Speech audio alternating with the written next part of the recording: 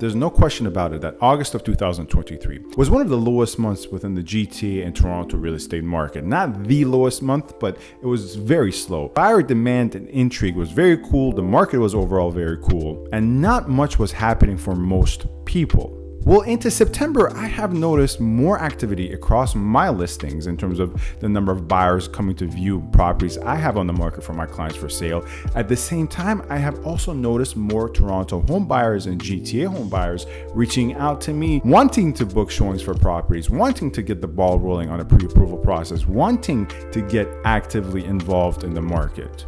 So I thought, why not take a look at the numbers here? In combination with this, the Bank of Canada early in September announced that they're not increasing interest rates to the surprise of many people, including myself. I particularly thought in September they would increase rates, but the Bank of Canada announced that they would not. And is this in any way connected to the fact that I've noticed more activity across my listings in September and I've noticed more buyer demand in September? Well, we're going to stop going based upon my experience and kind of assess the numbers in a more quantitative fashion as opposed to a qualitative fashion. On this channel, I always combine the qualitative of my everyday experience as a Toronto and GTA real estate agent with the quantitative. But in today's video, we're going to take a look at the hard cold numbers with regards to showings across the GTA and offers. As always, hello everyone. This is Sam from Saberi 6 Real Estate, a Toronto real estate agent actively working within the GTA and Toronto real estate market. If you're new to the channel, welcome. On this channel, we like to discuss all things having to do with the Toronto and GTA GTA real estate markets,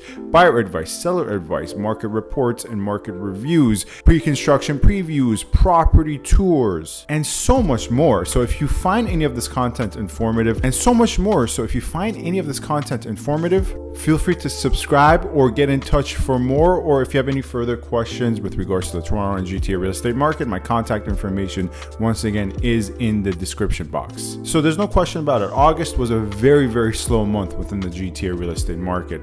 Properties were staying on the market for a long time, and in some cases still are on the market actually. Properties were not getting that many showings. Now they were actually getting more showings than the August previous on a year over year basis, but compared to not even the peaks of market, forget about that, compared to the highs of 2023 even so far. Properties were not getting uh, that much foot traffic. Now, of course, as always, I have to clarify, and I hope this goes without saying that this is on a general market level, right? Of course, if there was a listing that was really good in a low inventory community, probably got a lot of foot traffic. But I'm saying overall, at a general level. So let's take a look at August numbers first quickly to establish the grounds here. And I'm gonna actually refer to one of my favorite analytics tools for listings and showings, one of the only ones that I know of, which is Broker Bay. Now, one thing off the bat I'll mention is that Broker Bay is not exhaustive in terms of the analytics. It only accounts for listings that go through Broker Bay. However, I would probably have to venture to say that 80% of the brokerages that do showings and offer registration, that data is within Broker Bay. So it does account for a lot of the market. Not all of the market, but a majority of the market. Furthermore, Bay is actually not a good tool for price or more market oriented stuff like days on market, all that type of stuff. But for the internal analytics in terms of offers and showings, it's actually quite good. So every tool has its purpose and Bay for me is the best way to determine how many showings are happening in a given community for what property type and how many offers are being placed. So, so with that preamble out of the way, let's take a look. So here I have open in front of me the numbers for uh, September across the GTA, the entirety of the GTA, not the city of Toronto. Condos, semi-detached, townhomes, and detached properties, all property types. We see that from the time range of August 1st to August 21st, because right now at the time of recording of this video, it is September 22nd, so we don't have a full day of data for the 22nd. So we're gonna be taking a look at it for September from the 1st to 21st as well. We see that in the same period in August, there were a total of 74,000 showings showings and 4,402 offers. Now, once again, this is not exhaustive. I want to make sure that I mention that this is not exhaustive, but it's very, very close to capturing all the data. And as is typical, uh, the number of showings really peaked in the middle of the month in August, right? We see that the most showings in a day was 5,154 uh, for any given property on the market and you know things start to really taper off towards the end of the month with the small bump occurring uh, towards the end of the month, actually, and that's the weekend, I believe, uh, the 19th and 20th. Of course, one can surmise that it's due to the fact that uh, you know the summer was coming to an end, and uh, people were anticipating another rate hike potentially in September. I was, for a fact, you know, I predicted there will be another rate hike on September 6th. Of course, that didn't happen, and maybe a lot of people rushed in to see some stuff on the market. And we kind of see the same type of pattern when we take a look at a daily view of the number of offers being placed in August of 2023. We see that for the most part, things did peak in the middle of the month once again around the 14th and 15th, and offers were also being made, uh, you know, in the early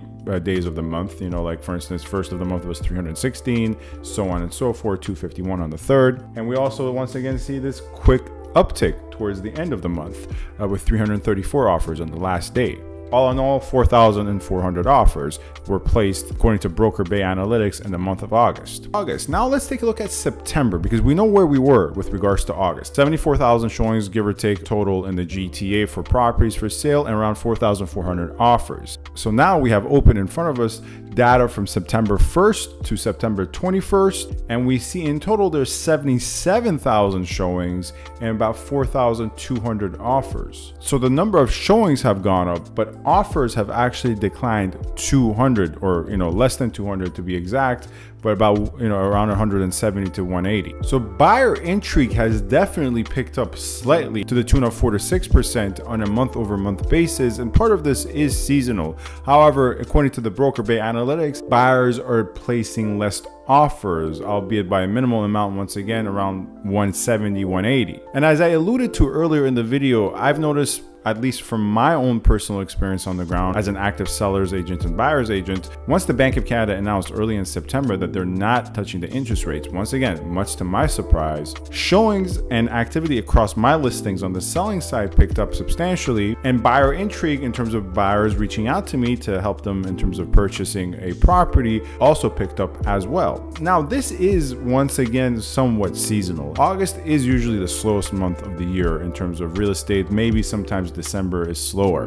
And in terms of assessing where things are going, well, it's going to mainly have to do with what the Bank of Canada decides for their next upcoming announcements. There's actually two announcements remaining for the uh, entire year of 2023. They're going to make an interest rate decision slash announcement in October, I believe October 7th, if I'm not mistaken, and another announcement coming towards the end of December. So putting aside the one in December, let's focus on the one in October. If the Bank of Canada, by chance, announces that they're keeping rates again paused at these current levels, I would I would not be shocked whatsoever. In fact, I would expect the market to keep picking up a bit more in terms of buyer intrigue and buyer demand and buyer competition.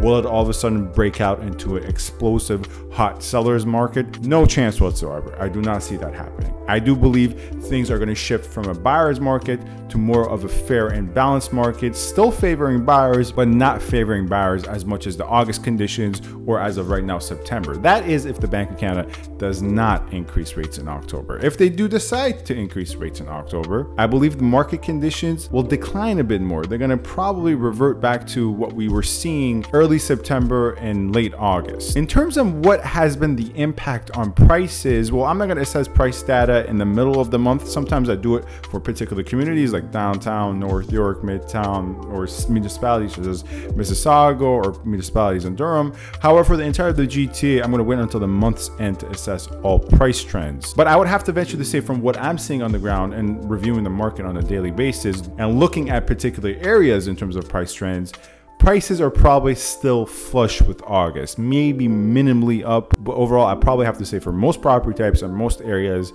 it's still pretty much even with August. Prices have not shot up or declined much further as well. However, I might be wrong, and once we assess the numbers at the end of the year, however, I might be mistaken, and once we assess the numbers towards the end of the month, uh, early October, we might see something different. Anyways, that is it for today's video. A quicker video than normal. Thank you very much for watching. Let me know if you have any further questions with regards to topics discussed in this video or topics discussed in previous videos.